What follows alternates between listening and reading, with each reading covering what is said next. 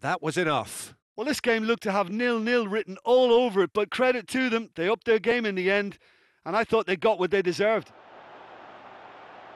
And all that remains for me is to thank Jim Beglin. That's it from us tonight. A very good evening to one and all.